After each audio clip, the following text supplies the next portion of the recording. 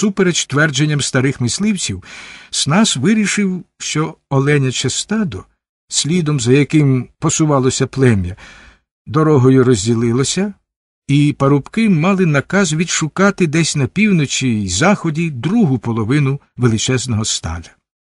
Смок, збентежений наміром лабіскві розпалити багаття, заявив, що піде з парубками. Але спочатку він порадився з куцем і Маккеном. На третій день ти мусиш бути на місці, смоку, сказав куций. А ми візьмемо собак та спорядження. Тільки пам'ятай, попередив смок, якщо наша зустріч чомусь не вийде, ви рушаєте далі і вибираєтеся на юкон. Це доконче. Якщо виберетеся, влітку повернетеся до мене. А якщо пощастить втекти лиш мені, то я повернуся до вас.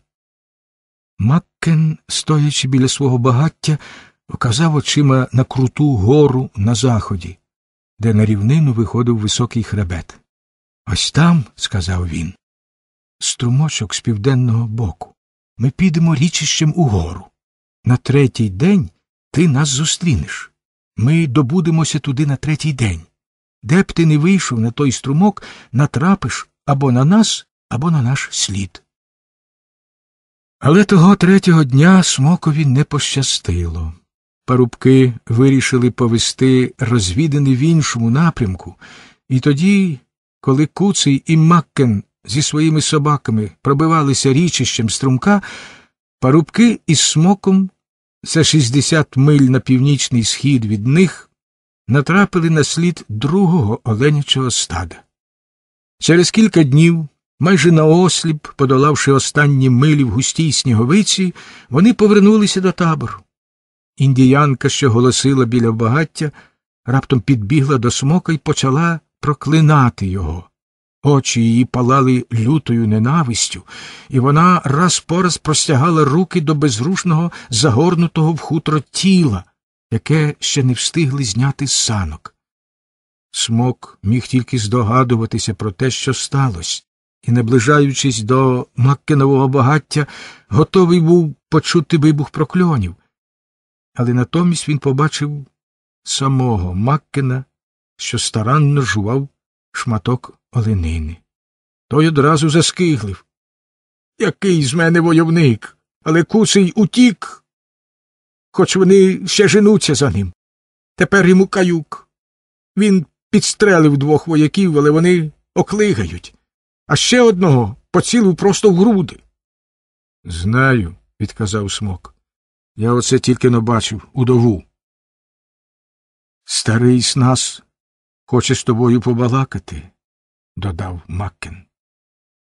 Наказав, щоб ти, як повернешся, одразу пішов до його багаття. Я тебе не виказував. Ти нічого не знаєш. Затям це собі. Куций з тобою не змовлявся. Ми тікали самі. Біля снасового багаття смок застав лабіскві.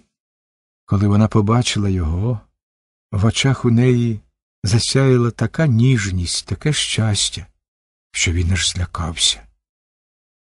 Я рада, що ви не пробували втекти, мовила вона. Бачите, я. Вона завагалася, але очей не опустила, і сяйво в них було красномовніше за будь-які слова. Я розпалила своє багаття, і це, звичайно, для вас, бо тепер воно сталося зі мною.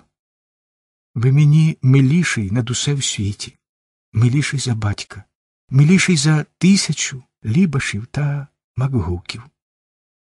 Я кохаю. Це так дивно. Кохаю, як Франческа, як Ізольда. Старий чотириокий казав правду. Індіяни так не кохають. Але у мене сині очі і біла шкіра. Ми обоє білі, ви і я. Смокові ще ніколи не освічувалася жодна жінка, і він розгубився. А втім, це було більше, ніж освічення. Вона бо й сумніву не мала, що він відповість їй взаємністю. Для неї все це було так просто і ясно, очі її сяяли такою ніжністю, що смок лише дивувався, чому вона ще не обняла його і не схилила голову йому на плече. Та потім він зрозумів, що, хоч вона й не приховує свого кохання, любощі закоханих їй незнайомі. Дикуни не знають їх, їй ніде було такого навчитися. Смок слухав її лопотіння, щасливу пісню її кохання і ніяк не міг зважитися сказати дівчині гірку правду. Але може скористатися з її останніх слів? Послухайте бо, лабіскві, почав він. Чи певні ви, що чотириокий розповів вам усю історію кохання Пауло і Франчески? Вона сплеснула руками і засміялася, радіючи, як людина, чиї сподівання справдилися. Тож це ще не все? Я так і знала, що це ще не все про кохання. Я багато думала, відколи розпалила своє багаття. Я. Але тут крізь завісу снігопаду до багаття вийшов снас і слушну нагоду смок утратив. Добрий вечір, непривітно буркнув снас. Ваш приятель завдав нам клопоту. Я радий, що у вас виявилося більше здорового глузду. Може, ви скажете мені, що саме сталося? спитав смок. Снас криво посміхнувся. Білі зуби блиснули в прокуреній бороді. «А вже ж, скажу. Ваш приятель убив одного з моїх людей. Той нікчема Маккен підвів руки догори після першого ж пострілу. Йому більше вже ніколи не закортить тікати. А вашого приятеля ловлять у горах мої мисливці, і вони впіймають його. До юкону йому не дістатися. Ви ж віднині спатимете біля мого багаття. І з мисливцями більше не будете ходити. Я сам вас стерегтиму. Перебравшись до снасового багаття, смок потрапив у скрутне становище. Тепер він бачився з лабіскві частіше, ніж коли. Її щире, ніжне і невинне освідчення в коханні було для нього справжньою мукою. Вона дивилася на нього закоханими очима і навіть поглядом своїм пестила його. Знову й знову він набирався духу, щоб розповісти їй про Джой Гастел, але все не наважувався і кляв себе за боягузтво. І найгірше було те, що Лабіскві така чарівна. Він не міг не милуватися нею, і, хоч почував гризоту за кожну хвилину, проведену з нею, та все ж які це бували приємні хвилини. Вперше в житті перед ним розкривалася жіноча душа, і така чиста була душа Лабіскві, така неймовірно наївна і невинна, що смок читав у ній, як у розкритій книжці. Вся одвічна жіноча доброта була в цій дівчині, не зіпсованій умовностями й фальшем цивілізованого життя. Не раз він згадував Шопенгауера і переконувався, що похмурий філософ помиляється. Пізнати жінку, як смок пізнав Лабіскві, означало зрозуміти, що всі жінкофоби це неповноцінні люди. Лабіскві була чарівна, і однак поряд з її лицем із плоті й крові завжди поставало, немов осяяне вогнем, лице Джой Гастел. Джой щоразу бувала така стримана, вона так дотримувалася умовностей, цивілізації. Але тепер смокова уява наділяла Джой Гастел усім тим душевним багатством, що його він відкрив у Лабіскві. Одна лише звеличувала другу, і всі жінки цілого світу звеличилися в смокових очах завдяки тому, що він побачив у душі Лабіскві біля снасового багаття в країні снігів. Водночас смок пізнавав і самого себе. Він згадував усе, що знав про Джой Гастел, і зрозумів, що кохає її. Але й Лабіскві була дорога його серцю.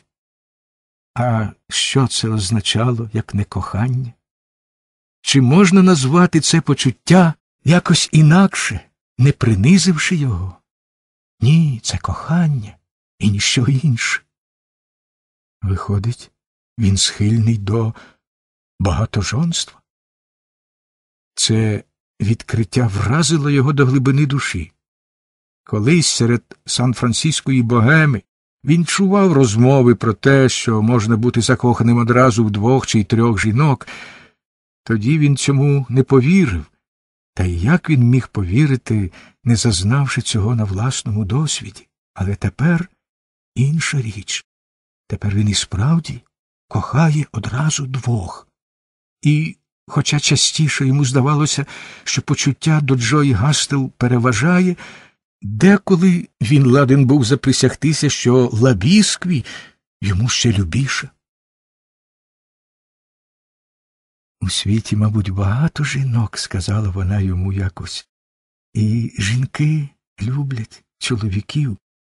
Певно, і тебе любило багато жінок.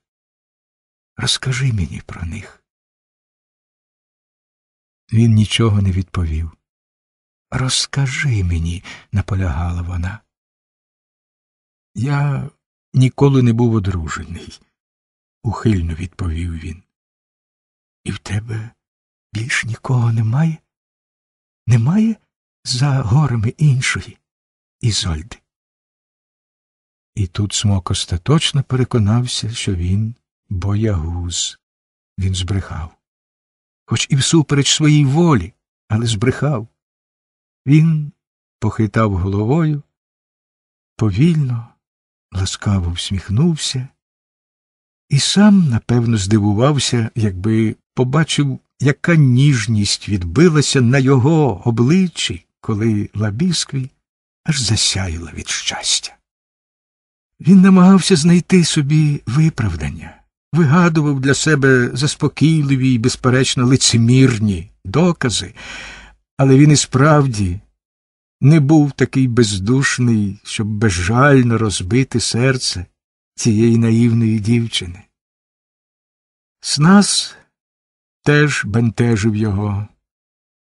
Чорні ватагові очі все помічали і він не звик кидати слів на вітер.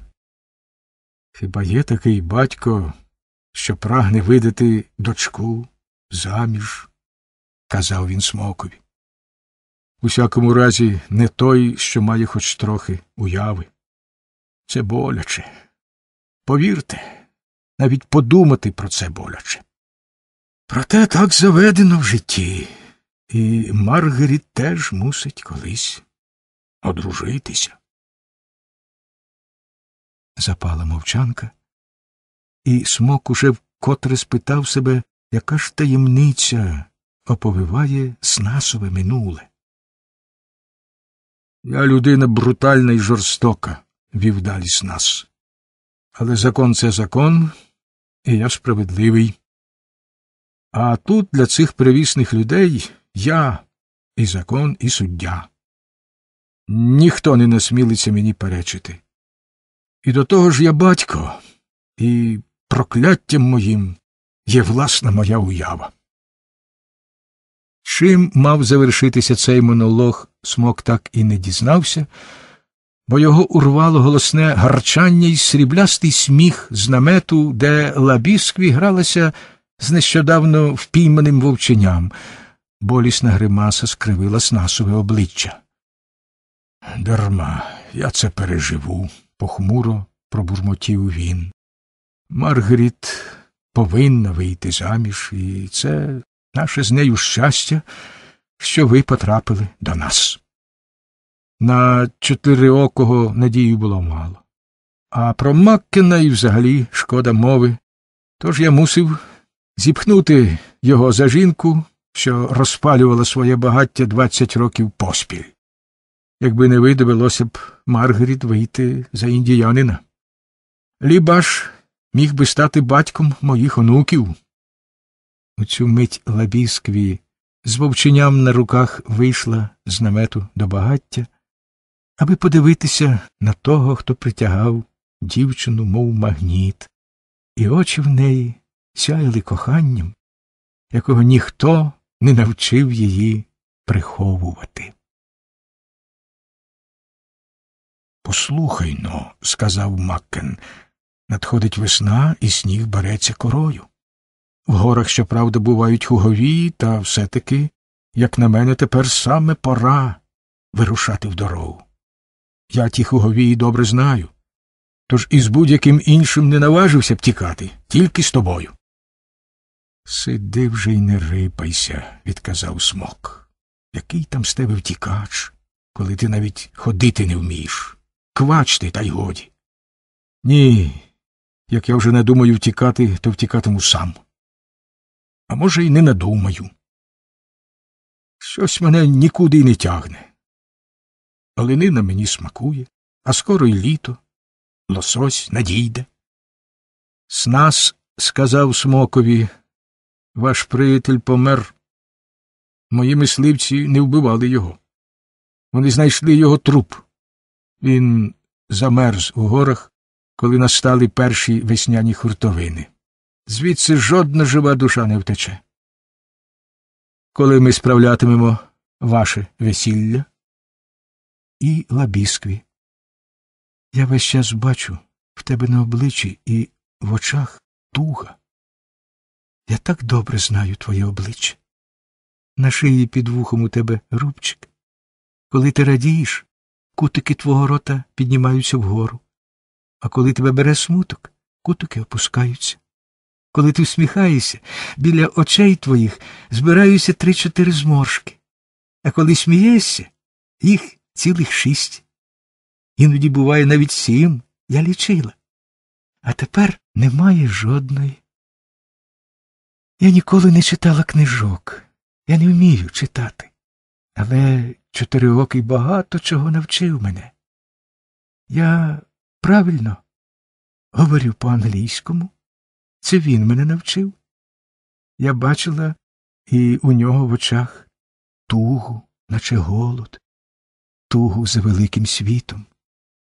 Він часто тужив за тим світом. Дарма що тут було добре м'ясо, і риби вдосталь, і ягід, і корінців, навіть борошно бувало. Нам його часто приносять їжаці й лускви в обмін на хутро. Та все-таки він тужив за тим світом.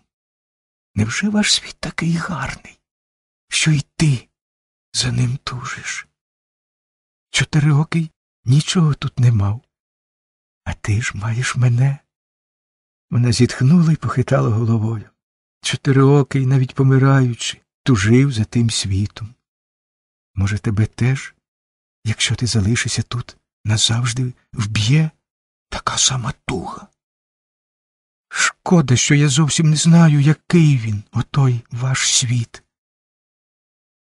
Ти хочеш утекти туди? Смок не наважився на відповідь, лише кутики його рота сіпнулися, але вона зрозуміла. На кілька хвилин запала мовчанка. Лабіскві, видимо, боролася з собою а смок кляв себе за незрозумілу легкодухість. Як міг він виказати їй свою тугу за світом і промовчати про своє кохання до іншої жінки? І знову лабіскві зітхнула. Що ж, гаразд, я так кохаю тебе, що навіть батька не боюсь хоч у гніві він страшніший за сніговицю в горах. Ти розкрив мені, що таке кохання. Це випробування моєму коханню. Я допоможу тобі втекти звідси, до світу, за яким ти тужиш. Смок прокинувся і лежав непорушно. Маленькі теплі пальці доторкнулися до його щоки і застережливо лягли на губи. Потім хутро, від якого ще віяло морозом, залоскотало йому обличчя, і у вухо його прошепочено одне єдине слово. Ходімо. Він обережно підвівся і прислухався. Сотні табірних собак уже виводили свою вічну пісню, але крізь їхні завивання смок почув зовсім близько, легке й рівне дихання снаса. Лабіскві легенько смикнула його за рукав, і він зрозумів, що треба йти слідом за нею. Він узяв свої мокасини, вовняні шкарпетки і в спальних мокасинах вибрався на двір. Коли вони проходили повз пригасле багаття, вона жестом показала йому, щоб узувся, а сама знову прослизнула до батькового намету. Смок намацав стрілки годинника, була перша година ночі. Зовсім тепло, подумав він, не більше десяти градусів морозу. Лабіскві повернулася і повела його темними стежками заснулого табору.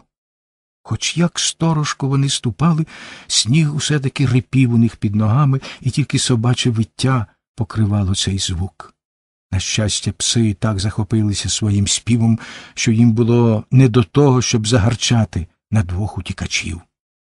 Тепер можна й говорити, сказала Лабіскві, коли вони відійшли за півмилі від останнього багаття. Вона обернулася до нього, і тільки тепер, при світлі зірок, смок уперше побачив, що вона несе щось у руках. Напомацки він виявив, що то його лижви, рушниця, дві ладівниці і спальне хутро.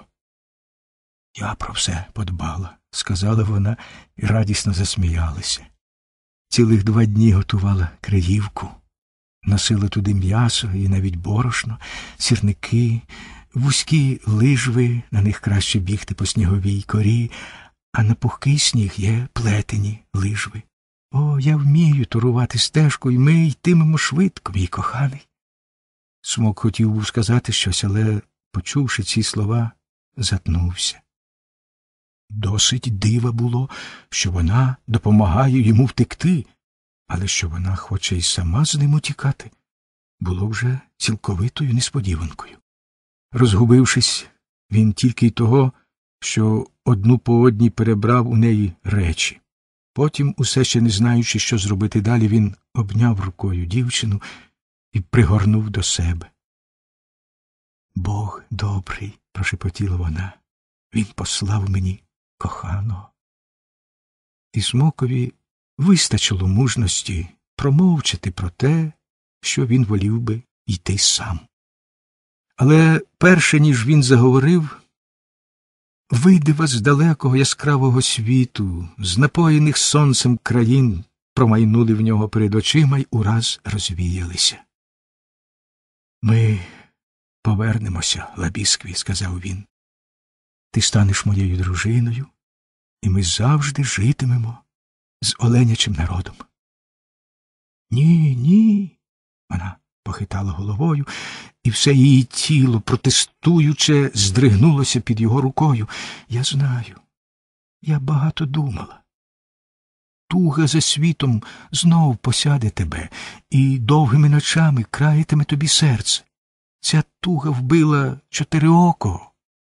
Вона вб'є й тебе. Вона мучить усіх, хто потрапляє сюди з великого світу. А я не хочу, щоб ти вмирав. Ми підемо на південь і перейдемо через снігові гори. Послухай мене, Люба, умовляв він. Нам краще вернутись. Вона притисла руку в рукавиці до його уст, не даючи йому говорити далі. Ти кохаєш мене? Скажи, що кохаєш. Кохаю, Лабіскві. Ти моя чарівна кохана. І знову ніжний дотик її руки примусив його замовкнути. Ходімо до Криївки, рішуче сказала вона. Туди ще три милі. Ходім. Смок стояв, як укопаний, і хоч як тягла вона коханого за руку, зрушити його з місця їй було не сила. Він уже ладен був сказати, що там, на півдні, на нього чекає інша. Тобі не можна вертатися, сказала вона. Я. я тільки дикунка. Я боюся того великого світу, але ще більше я боюся за тебе. Бачиш, усе виходить так, як ти мені казав. Я люблю тебе над усе в світі. Я люблю тебе більше, ніж саму себе. Індіянській мові бракує слів, щоб про це сказати. І англійській теж. Всі подуми мого серця про тебе. Вони яскраві, як зірки. Їм немає ліку, як зіркам, і немає такої мови, щоб розповісти про них. Як тобі про них сказати? Ось вони. Ти чуєш? Вона взяла його руку і, знявши з неї рукавицю, притягла до себе під тепле хутро парки, притисла до самого серця і, міцно притиснувши, завмерла. У глибокій тиші смок відчув, як б'ється її серце, і знав, що кожен його удар промовляв про кохання. А тоді повільно, ледь-ледь помітно, не відпускаючи смокової руки, вона ступила крок у тому напрямку, де була Криївка, і він не міг опиратись їй. Здавалося, це її серце вело його, серце, що мало не лежало у нього на самій долоні. Сніг, що підтанув напередодні, за ніч узявся міцною корою, і лижви легко й швидко ковзали по його поверхні. Криївка там, між тими деревами, сказала смокові лабіскві.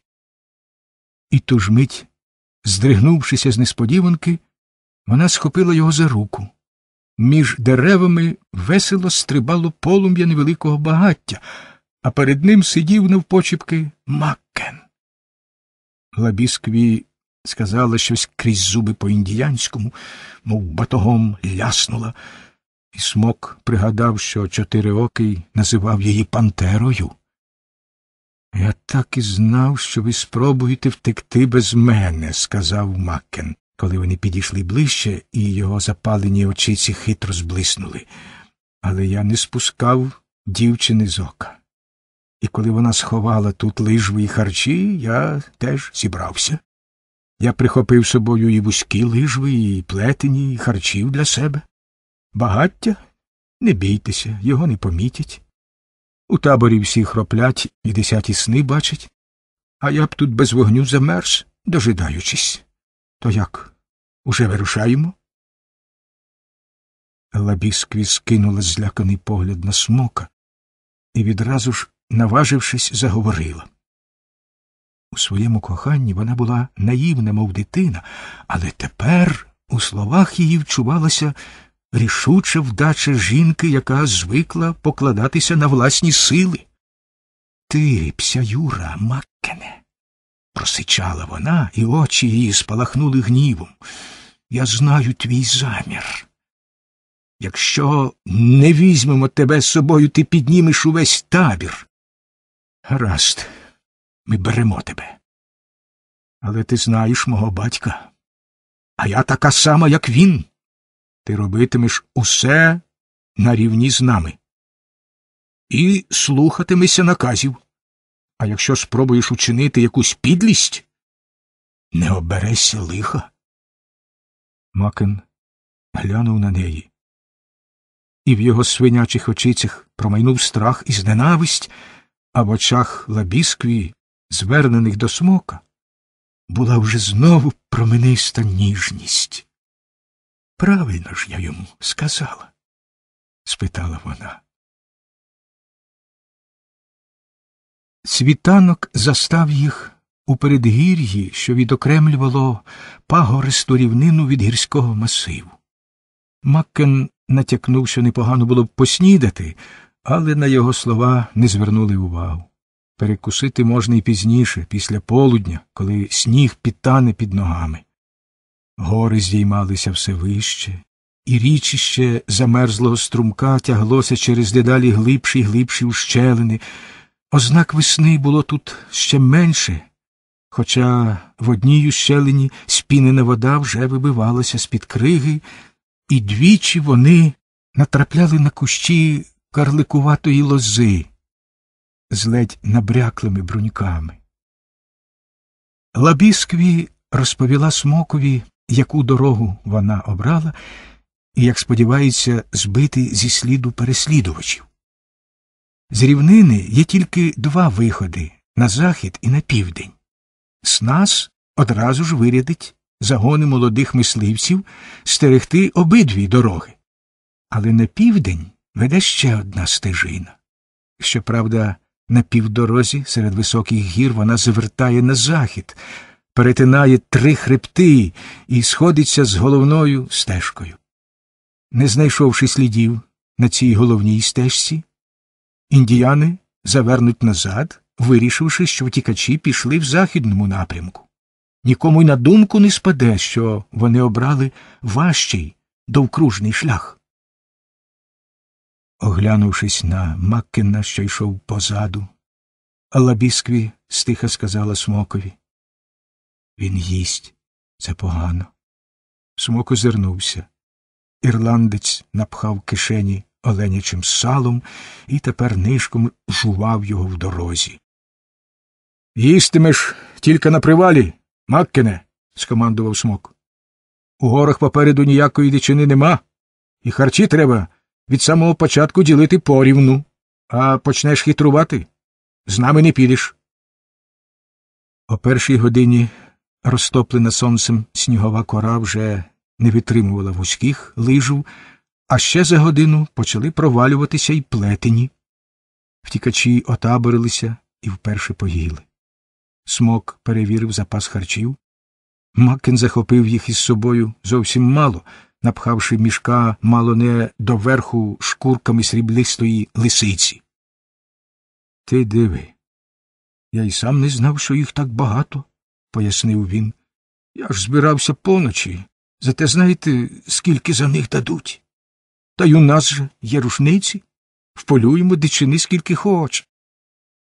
Вовки тебе вполюють, скільки хоче, з серцем кинув смок, а очі лабіскві спалахнули гнівом. Удвох вони прикинули, що харчів вистачить на місяць, якщо бути ощадними, і не наїдатися до схочу. Лабіскві зажадала, щоб і їй дали нести частину вантажу. Посперечавшись із нею, смок таки здався і розділив вантаж на три рівні за вагою і розміром клунки. Наступного дня струмок вивів їх на широку гірську долину. Поки втікачі перетинали її, снігова кора почала танути, і вони на силу вже, провалюючись у сніг, дісталися до твердішого покриву на схилі нового хребта. Ще десять хвилин і ми б застряли в долині, сказав смок, коли вони зупинилися перепочити на голій вершині. Тепер ми піднялися на добрих тисячу футів. Але тут Лабіскві мовчки вказала на долину. На снігу між деревами смок побачив п'ять майже непорушних темних цяточок. Це молоді мисливці, зауважила дівчина. Вони провалюються по самі стегна, сказав смок. Сьогодні їм уже не вибратися на твердий сніг. Ми випередимо їх на кілька годин. Айда, Маккене, мерщій! Їстимеш, коли вже не зможемо йти далі. Макен аж застогнав, але в кишені в нього вже не було оленячого сала, і він поплентався слідом за ними, уперто тримаючись позаду. Вони знову йшли долиною, але ще на більшій висоті. Тут крига почала ламатися під ногами тільки о третій годині дня, а на цей час вони добулися в тінь попід горою, де сніг уже знову підмерзав. Лише раз вони зупинилися, дістали відібране в Маккена сало і, жуючи, пішли далі. М'ясо геть наскрізь промерзло, і його можна було їсти, лише розігрівши на вогні. Зате сало кришилося в роті і трохи втишувало нестерпний голод. На дев'яту годину, коли небо затягло хмарами, і тривалі сутінки перейшли нарешті в непроглядну темінь, утікачі отаборилися у гайку карликових ялинок. Макен жалібно скиглив. За дев'ять років життя в Арктиці він нічого не навчився. Дорогою Макен наковтався снігу і тепер, мало що втомлений цілоденним переходом, то ще мусив терпіти біль у пересохлому, запаленому горлі. Скорцюрбившись коло багаття, він стогнав і зойкав, поки смок з лабіскві лаштували на ніч спальні хутра. Лабіскві була невтомна. Вона знов і знов дивувала смока своєю невичерпною енергією, силою тіла й духу і бадьорість її не була силувана.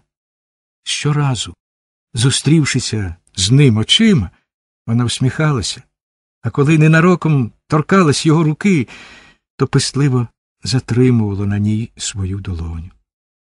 Та тільки на погляд дівчини звертався до Макена, як обличчя її ставало тверде й безжальне, а в очах спалахував ворожий вогник. Вночі знявся вітер зі снігом. Цілий наступний день вони наосліп пробиралися крізь хугу і не помітили струмка, річищем якого треба було завернути до перевалу на заході. Два дні проблукали вони в горах, аж нарешті вибралися туди, де весна ще й не починалась навіть. Індіяни загубили наш слід. Та чом би нам хоч день не перепочити, благав Маккен. Але дозволити собі таке вони не могли. Смок і лабіскві добре усвідомлювали небезпеку. Вони заблудили високо в горах, де не було ніякої дичини, ніякого бодай сліду. День у день пробиралися вони карколомними зламами гір, лабіринтами ущелин та долин, що майже ніколи не приводили на захід. Потрапивши в таку ущелину, вони мусили йти до кінця, тому що обабіч стріміли обмерзлі шпилі та крутовизни, грізні й неприступні. Неймовірні труднощі долали вони, холод знесилював їх, проте їм довелося ще більше урізати свою мізерну денну пайку харчів. Якось уночі Смока розбудили звуки боротьби. Хтось хрипів і задихався на тому місці, де спав Маккен. Смок копнув ногою багаття і при світлі його побачив лабіскві. Схопивши ірландця за горла, вона силкувалася вирвати в нього з зубів шматок м'яса. Смок побачив, як дівчина блискавичним рухом вихопила ножа з піхов у себе на поясі. Лабіскві. владно гукнув він. Її рука завмерла в повітрі. Не треба, сказав він, підійшовши до неї. Вона аж тремтіла з гніву, і ще якусь мить вагалася, та потім неохоче опустила руку й сунула ніж у піхви. Немов побоюючись, що не зможе стриматися, Дівчина відійшла до багаття і підкинула гілля у вогонь. Макен сів і, понятий ляком та люттю, щось забелькотів, зриваючись то на скиглення, то на гарчання. Де ти взяв м'ясо? спитав смок. Обшукай його, сказала Лабіскві. Це були її перші слова, бо голос їй і досі уривався з ледь стримуваного гніву. Макен спробував було пручатися, але смок скрутив його, обшукав і витяг у нього з-під пахви шмат оленини, захований, щоб одігріти. Лабіскві тим часом кинулася до маккенового мішка і розв'язала його. Раптовий її вигук примусив смока озирнутися.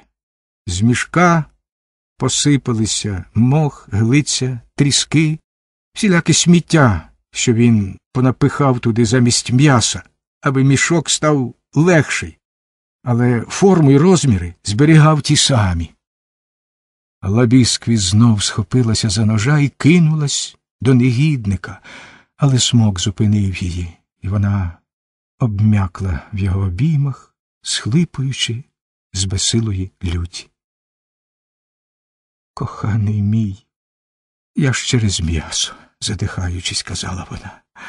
Я б убила його за тебе, за твоє життя. Пся Юра.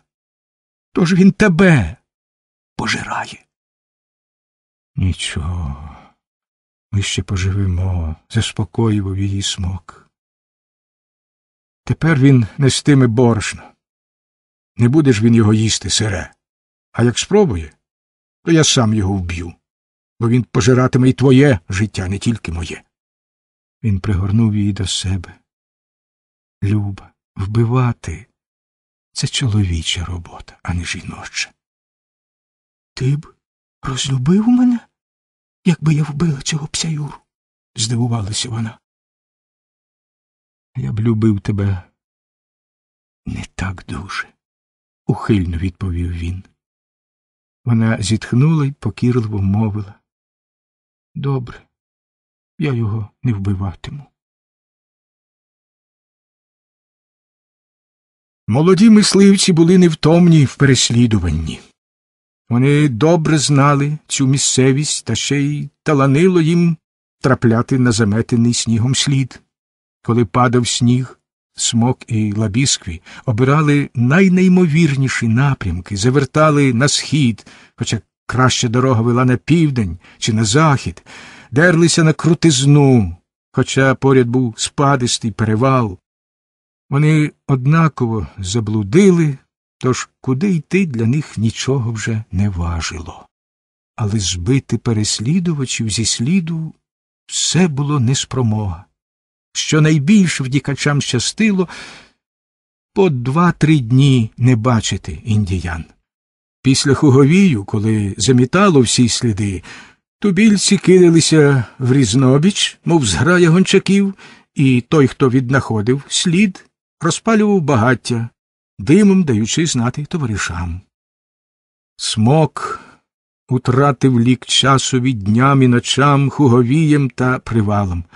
Це був нескінченний, безпросвітний кошмар, повний мук та тяжкої праці, і все ж вони йшли і йшли.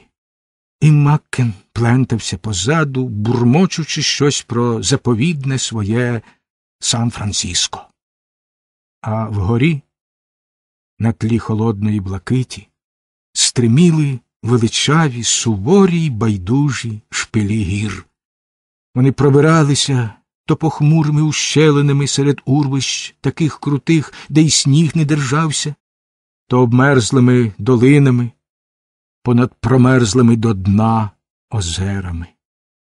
А то якось уночі, в проміжку між двома хурделицями, вони побачили на край небі відблиск далекого вулкана, і потім навіть непевні були, чи це не примарилося їм. Поверх крижаного покриву лягав шар свіжого снігу, брався корою і в свою чергу зникав під новими семетами. Подекуди, в глибоких ущелинах, під ногами в них було снігу в кілька сотень футів, а у вузьких розколинах, де вільно гуляв вітер, траплялися їм невеличкі льодовики без жодної сніжинки на поверхні. Мовчазними привидами переповзали вони через навислі над безодною снігові шапки, а часом тяжкі сни їм уривав гуркіт поблизького обвалу. Іноді вони таборилися на ніч так високо, де вже не було з чого розкласти багаття, і тоді мусили теплом власного тіла розігрівати промерзле м'ясо. І весь час Лабіскві лишалася така, як була незмінно бадьора, вона тільки на Маккена дивилася незичливо. І ні крайнє виснаження, ані холод не могли притьмарити її кохання до смока. Ревно стежила вона за розподілом їхніх жалюгідних харчів. І смок бачив, що кожен маккенів кусень дратує її до нестями. Одного разу вона сама розподіляла їжу, і Макен одразу ж зняв дикий гвалт. Не тільки бо йому, а й собі вона дала куди меншу пайку, ніж смокові. Відтоді смок розподіляв харчі сам. Якось цілу ніч сипав сніг, і вранці невелика лавина знесла їх ярдів на сто схилом. Вони вибралися, ледь не задихнувшись під снігом, але не ушкоджені. І тут виявилось, що пропав Маккенів мішок з усім їхнім борошном. Другий ще більший обвал поховав цей мішок під снігом уже назавжди. І хоч лихо сталося не з вини Маккена, Лабіскві навіть не дивилася більше в його бік. Смок розумів вона боїться, що не зможе стримати себе. Стояв тихий ранок, на блакитному небі не було ані хмаринки, сліпуче яскрів сніг. Утікачі вибиралися вгору широким спадистим схилом, брели, мов утомлені привиди в безживному світі, де навіть легіт не порушував глибокої мертвотної тиші. За сотню миль над обрієм зіймалися пощерблені хребти скелястих гір, видні так чітко, наче до них було щонайбільше миль зо п'ять. Щось буде, прошепотіла дівчина. Ти відчуваєш? Щось ніби насувається звідусіль. Усе стало таке чудне. Мене проймає дрож, відповів смок. Але не з холоду і не з голоду. Дрож у мозку, в серці, підхопила Лабіскві. І в мене теж. Ні, це не всередині, визначив смок. Я відчуваю холод іззовні. Кожним нервом відчуваю. За чверть години вони зупинилися перевести подих. Гір на обрії вже не видно, зауважив смок. Повітря якесь густе і важке, сказала Лабіскві. Дихати важко. Три сонця. прохрипів Маккен, заточився і міцніше стис жердину, щоб не впасти. Два примарних сонця з'явилися обабіч справжнього. Уже п'ять, сказала Лабіскві. Вони стояли і дивилися, і все нові сонця спалахували в них перед очима. Боже, то ж їх не злічити. злякано скрикнув Маккен. І справді, куди не кинути оком, пів неба палало й яріло сліпучими спалахами нових сонць. Нараз Маккен аж зойкнув з подиву й болю.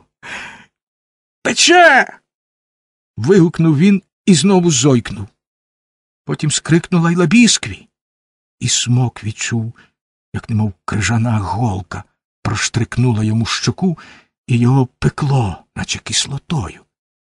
Він згадав, як колись купався в морі, і його вжалили стрекала отруйної медузи. Відчуття було таке схоже, що він мимоволі провів рукою по щоці, аби скинути пекучий слиз. І тут раптом пролунав на диво глухий постріл. Внизу, під горою, стояли на лижвах молоді індіяни, і один по одному стріляли в утікачів. Ану, вростіч і вгору. крикнув смок. Вершина близько. Вони за чверть милі нижче. Тож по той бік гребеня ми їх випередимо на кілька миль. Всі троє кинулися в розсип і щосили подерлися засніженим схилом. Невидимі повітряні жала тяли й пекли їм обличчя, а приглушені постріли по чудному бриніли в вухах. Хвалити Бога, відсапуючись, мовив смок, що в них чотири рушниці і тільки одна гвинтівка. І ці сонця заважають їм цілитись. У них в очах множиться, палять за сотню кроків убік. Це все мій батько, озвалася Лабіскві. Він наказав нас убити. Як дивно ти говориш, сказав смок. Я чую твій голос, наче здалека. Затули рота. Раптом скрикнула Лабіскві. Мовчи. Я знаю, що це. Затули рота рукавом. Отак. І мовчи.